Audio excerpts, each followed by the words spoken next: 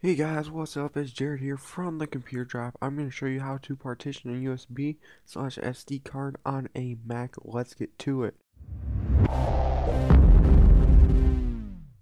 Alright, so once you have it plugged in, the first thing you want to do is open up Disk Utility, then select your thumb drive and go to the Partition tab.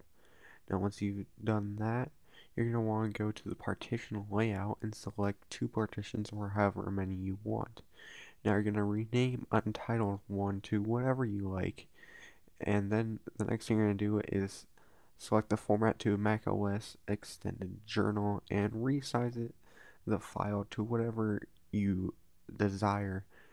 And you can do that for the second one and then rename the Untitled 2 as well. And then set it to GUID partition table and that will ensure it's safely done and just recheck everything and then you're going to want to hit apply. Now then you'll hit partition. It's just telling you what's going on here.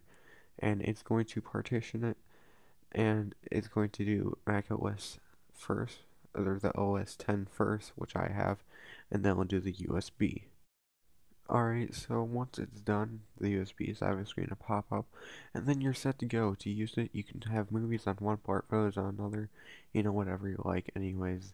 I will see you guys next time. Peace out.